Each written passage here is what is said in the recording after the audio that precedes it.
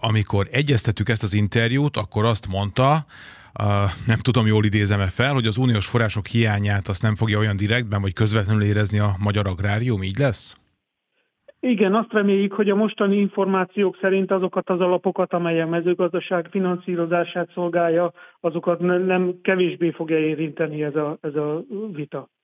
A mezőgazdaságnak járó források egyébként benne vannak ebben a 7 éves költségvetésben? Benne vannak, nyilvánvalóan benne vannak, és ugye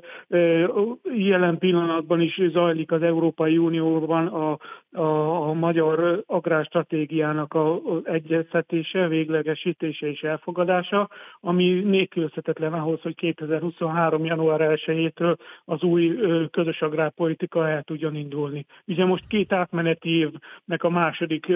évében vagyunk, de most már nagyon sürgős lenne, hogy a jogszabályalkotás érdekében megszülessen a jóváhagyása az Európai Uniónak a magyar stratégiára, és akkor tudjunk indulni a jövő évben. Ez egy fontos dolog, valóban nincsen bent a, a napi szintű hírfolyamban, hogy lassan lejárnak az átmeneti évek. Mi, hogyan, hogy fogalmazzak jól, szóval mi, mire használta ezt a két évet az az uniós szervezeti rendszer, amelynek azt kellett kitalálnia ez alatt a két év alatt, hogy 23-tól hogyan nézzen ki a kapforrások folyósítása? Ugye leg, leginkább vitával teltek ezek az évek, hiszen egy nagyon kemény közösségi agrárpolitikai reform javaslattal állt elő a a bizottság, és nagyon hosszú időbe telt, míg, míg a tagállamokkal sikerült egy olyan szintre lealkudni ezeket a e, szigorú elvárásokat, amik élhetőek, és, és egyértelműen e, javít, javítanák az európai mezőgazdaságnak a, a versenyképességét. Gyakorlatilag arról van szó, hogy e, szigorú feltételekkel, de nagyjából ugyanannyi forrást biztosít az Európai Unió az agrárgazdaság számára, mint eddig. A két átmeneti év az azért nagyon fontos, és annak alapvetően mindannyian örültünk, mert ugye a régi az előző közösségi agrárpolitika szabályai szerint, de már az új borítékjából, pénzéből tudtuk ezt a két átmeneti évet finanszírozni, ami egyértelműen kiszámíthatóságot, biztonságot jelentett a magyar gazdálkodók számára. De várjon, a válasz első fele mellett nem menjünk el szó nélkül. Azt mondja, hogy fontos volt, hogy lealkudják azokat a feltételeket. Ugye ezekről a feltételekről sokat beszéltünk az elmúlt években, mert most leegyszerűsítem, meg hát teszek bele némi iróniát, itt sötét-zöld feltételekről volt szó az elmúlt években, akkor ezek szerint ezt sikerült annyira visszavenni, hogy az európai mezőgazdaság a mostani formájában azért még továbbra is élhető, meg gazdaságilag értelmezhető marad? Így van, így van, ez egyértelműen így van. Nyilván vannak, vannak eléggé hogy mondjam, szélsőséges megnyilvánulások. Én annak tartom azt, hogy, hogy az, az Európai nyugató tagállamaiban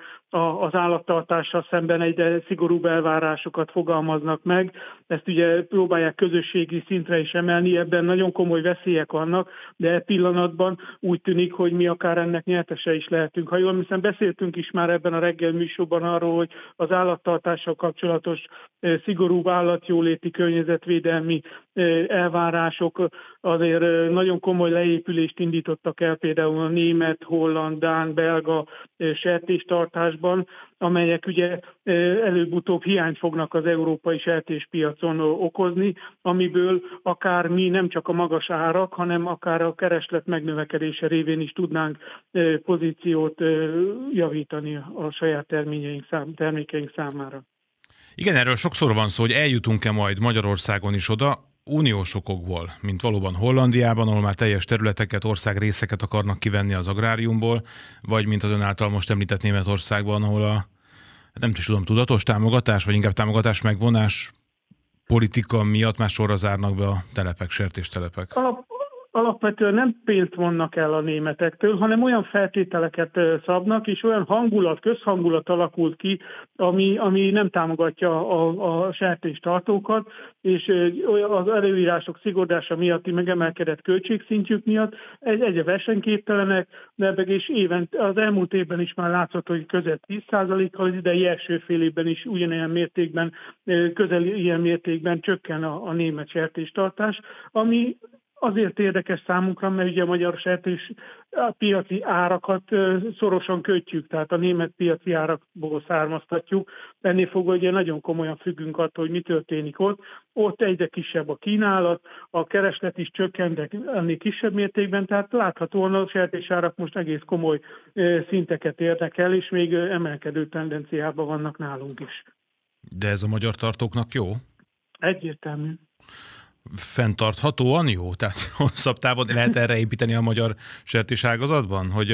az Nyugat-Európában keletkező hiányt azt meg lehet próbálni Magyarországról pótolni, kipótolni? Mi, a mi szektorunk nagyon pici ahhoz, hogy, hogy komoly mértékben részt vállaljon a nyugat-európai piaci ellátásban. Nekünk font, sokkal fontosabb az, hogy a közösségi piacon belüli lehetőségeink valamelyes nőnek, hiszen nekünk most az a legnagyobb harci feladatunk, hogy a magyarországi sertésállomány csökkenését megállítsuk, stabilizáljuk, modernizáljuk a telepeket, amelyek ugye alkalmasak lesznek arra, hogy esetleg jövőben szigorodó elvárások szabályoknak is megfeleljenek, és ezáltal ugye bővülni tudjon a magyar sertéstartás. Igen, lehet, hogy a magyar mezőgazdaságot nem is itt a források körüli vita, hanem a most ismét uniós szinten felerősödött, és egyébként az orosz szankciós politikával még hangsúlyosabbá vált európai zöldítési politika megintézkedések fogják jobban érinteni? Igen, igen, igen. Van egy érzékelhető egyfajta elbizonytalanodás azért az Európai Unióban, hogy, hogy az, élelmiszer, az ellátás biztonsága az fel kell, hogy értékelődjön. Tehát picit azokat a reformokat, amelyek következményeikben szűkítik az európai élelmiszertermelést, azt le kell lassítani, picit határidőkben eltolni, azért, hogy, hogy az elképesztően nagy élelmiszer infláció miatt meg a, a termelők ellehetetlenülése miatt magas költségek révén ne kerüljön veszélybe még inkább az európai élelmiszerellátás. Most ebben, ebben azért látok olyan jeleket, hogy, hogy az európai szervezetek próbálnak próbálnak azért középutat választani. De hogyha szigorúan vesszük, hogy itt a helyreállítási források azok még a koronavírus gazdasági hatásainak, meg kártételének helyreállítását szolgálják, mi az, amiben kárt szenvedett a, a magyar agrárium. És most éppen ezért bármilyen furcsán hangzik is, vagy nehezen lehet érteni, hogy ide kötöm ehhez a, ehhez a félmondatához, de ha már az európai élelmiszer termelés szűkítése, mint olyan veszélyként, vagy akár jelenségként látszik, akkor erre a területre fordítanák a, ezeket a forrásokat, vagy ez lesz egy ilyen forráshiányos ágazat? Arról szó sincsen, hogy a magyar mezőgazdaság forráshiányos lenne, hiszen az elmúlt év elején jól emlékszünk rá, hogy a, a kormány olyannyira komolyan vette ugye a, mezőgazdaság stratégiai jellegének a, a, a megemelését, hogy a vidékfejlesztési program ö, ö, nemzeti kiegészítő támogatási arányát 15-ről 80% ra emelte, tehát a beruházási, a fejlesztési oldalon rendkívül komoly, soha nem látott mértékű források állnak rendelkezésre, de ugye e, emiatt ugye nem is kell aggódni, hiszen az, a, a, az Európai Unió a közös agrárpolitikai reformjában, ahogy említettem, a források szintjét nagyjából változatlanul is hagyta, Nekünk arra kell törekednünk, hogy azok a termelési körülményváltozások, amikről beszélünk itt, az asszály, a, a, az energiaválság, a költségek emelkedése révén, azok ugye mm, megugorhatók legyenek, és igénybe tudjuk venni ezeket a hatalmas forrásokat. Igen, csak hogyha, tehát ettől nem tudok elszakadni, hogyha látja az Unió, hogy itt Európa élelmiszer termelés szűkítési, vagy európai élelmiszertermelési szűkítési folyamatokat indított el, nem tudom, hogy akarva vagy akaratlanul, akkor erről az útról le akar-e térni, hiszen az se lesz megoldás, hogyha folytatja ezt az utat Európán belül, de hát azért az élelmiszer ellátást akkor harmadik országból biztosítania kell. Így van, így van. Ez a környezetvédelmi problémák exportjának szokták nevezni, tehát hogyha mi szigorítjuk a feltételeket, viszont a harmadik országoktól nem várjuk el azt, akik beszállítanak, hogy, hogy ezeknek a feltételeknek megfeleljenek, akkor gyakorlatilag csak arról van szó, hogy mi előadjuk azt, hogy az Európai Unió az mennyire eh, környezettudatos és, és a klímaváltozásban mennyire beleáll, viszont az importja révén támogatja azt, hogy a harmadik országok pedig minél nagyobb élelmiszer termeléssel és exporttal ugye ezt, a, ezt a klímaváltozást inkább rontják, mint javítják. Akkor nézzük még a magyar utat. Honnan kezdjek? Mondhatnánk, hogy az ellátási láncok rövidülése, vagy lokálisabbá válása akár még pozitív hatásként is értelmezhető itt a koronavírus hatásainak következtében? Egyértelmű, ez egyértelműen látszik, hogy a 2020 tavasza óta, hogy az élelmiszerláncoknak a, a rövidülése az, az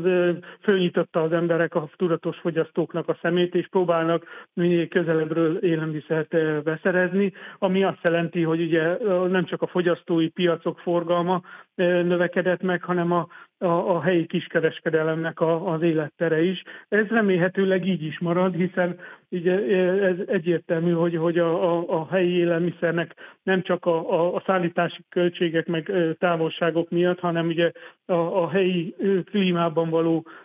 vagy környezet, gazdálkodási környezetben való mozgás miatt is nagyon komoly gazdasági hatása van a, a mezőgazdaságban is, egyébként minden máshol is. És akkor ezekre a folyamatokra rakódott rá tulajdonképpen itt az orosz-ukrán háború,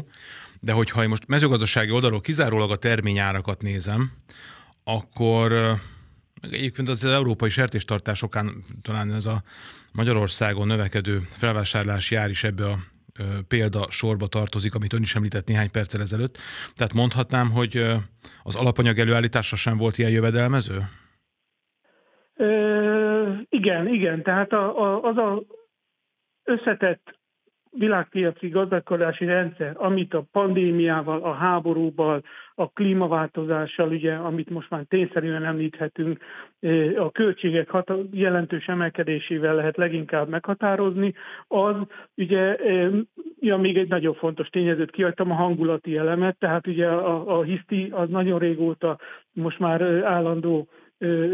jelenség az élelmiszerpiacokon is. Ezek ugye főfelé tornázzák az árakat, az élelmiszer árak emelkednek, de ugye ezzel párhuzamosan a kötermelési költségek is emelkednek, és ami nagyon érdekes ebben, hogy ez, ennek ugye az időbeni egymásra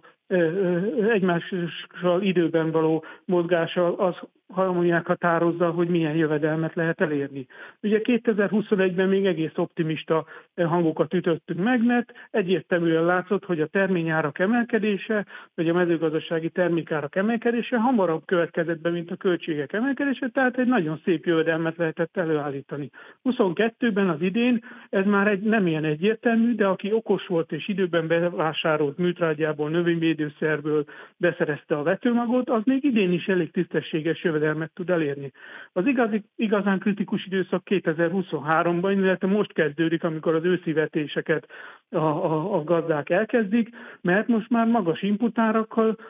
és változó, de magas terményárakkal találkozunk, tehát jövőre már tényleg az lesz, a, a, a, a, csak azok tudnak megfelelő jövedelmezősi szintért elérni, akik, akik megfelelő hatékonysággal tudnak dolgozni, beruháztak, fejlesztettek a technológiákba, gépekbe, a talajélettel sokkal többet foglalkoznak, a vízgazdálkodás ugye kritikus tényezővé vált, hiszen 2022-ben bizonyította, hogy a klímaváltozás már nem előttünk álló folyamat, hanem egy tényszerű dolog, megváltozott a klíma, és a, a, a, a csapadéknak a egyenletlen eloszlása és sokkal kisebb mértéke az, az egy kritikus szintet ért el idén, és ugye nem tudjuk, hogy az elkövetkező évek mit hoznak, de az a lényeg, hogy a, a, a, mezőgazdaság, az ország vízgazdálkodását nagyon nagy ütemben kell fejleszteni annak érdekében, hogy az öntözéssel, a talaj életnek, a talaj talaj termőképességének a javításával valamelyest ellensúlyozni tudjuk ennek a asszályos időszaknak a kezdetét. Hol látott hisztit? A hangulati elemeket azt azért szeretem hangsúlyozni, ugye, mert ugye amikor elkezdődött a, a, a pandémia, akkor ha jó, emlékszünk rá, bezáródtak határok, mindenki az egészségét féltve korlátozta az áruk és az emberek mozgását. Na ettől kezdve ugye mindenkivel kitört a felhalmozási láz. Ezt ugye háztartási szinten is érzékeltük, de ez országok globális szinten is nagyon komoly szinteket ért el. Az importőrő országok elkezdtek nagyobb készletszinttel gazdálkodni, és emelkedő árperiódusban is még többet vásárolni, mert ugye a lakosság élelmiszerellátását főleg az importőr országokban biztosítaniuk kellett. Ez ez a hangulati elem, ez ugye a tőzsdékre is be, be, be beérkezett ugye ilyen opciók formájában, akik ugye a, a, a megtérülést keresve ebben a szép emelkedő ártrendben megnyitották a, a pozícióikat. Ez, a, a, ez olyannyira sikeres lett, hogy ez, ez megint divattá vált, tehát nagyon könnyen befolyásolható piac az agrárpiac, ugye az időjárásra lehet hivatkozni, mindenféle háborúkra lehet hivatkozni, szállítási korlátokra lehet hivatkozni, energiaköltségekre is lehet újabb-újabb emelkedő trendet előidézni a, a tőzsdéken, és kétségtelen, hogy e, ennek most már tartósan tanulj vagyunk, hogy, hogy az élelmiszerek ára nem csak amiatt emelkedik, mert valóban kevesebb lenne egyébként a, a hozzáférhetősége, hanem azért is, mert, mert, mert ugye azt a hangulatot keltik a világban, hogy kevés az élelmiszer. Számomra például nagyon érdekes példa erre, hogy az ukrán háború, orosz-ukrán háború miatti ukrán és orosz a gabonapiaci befolyást mennyire túl, túl dimenzionálta a piac. Ennyire azért nem függünk az ukrán gabonától, mint amire elhangzott, és amilyen hihetetlen áremelkedéseket erre hivatkozva elindítottak, és ez, ez is látszik, hogy a, a, a július megállapodás óta, amikor ugye részlegesen megnyitottak ö, ö, ukrajnai tengeri kikötőket, ez már egy kisebb korrekció val volt csak hatással a piacra, ami bebizonyítja azt a, azt a, gondolatomat, hogy mégsem Ukrajna határozza meg azért a világgabona piacait, és ö, gyakorlatilag ugye a hangulat befolyásolása sokkal nagyobb hatással volt ezekre a, a, a magas árakra, mint maga az, hogy az ukrán néhány millió tonnás gabona tétele megjelente a piacon, vagy sem. Egyébként elkezdett szépen csordogálni az említett időpont óta, de attól azért még messze van, hogy, hogy a korábbi évek szintjeit elérje. Magyarországra is szépen érkezik az ukrajnai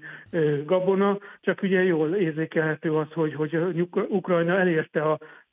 szárazföldi szállítási kapacitásainak a, a maximumát ugye a nyugati határi, határtérségeiben. Ez ugyanúgy kamionokban, vagonokban, mozdonyvezetőkben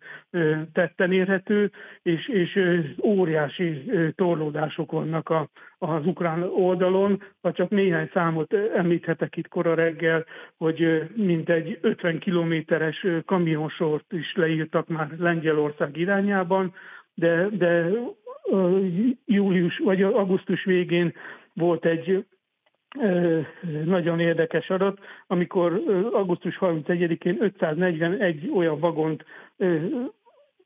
vagon vesztegelt a, a határon, amit még áprilisban rakottak meg. Tehát ezzel is ö, ö, alá tudom távasztani azt, hogy a, a szállítás, a szárazföldi szállítási kapacitások nagyon korlátosok, korlátosok, tehát nem tudják kiváltani a tengeri ukrán szállításokat, úgyhogy, úgyhogy várjuk nagy nagy imádkozással azt, hogy a háború véget érjen, és, és végre visszaálljon a, a teljes ukrán szállítási kapacitás. Nem azért, mert ettől ugye a világpiaci árak lemennének, hanem azért, mert ugye kétségtelen van, vannak országok, ahol erre az ukrán gabonána óriási szükség van.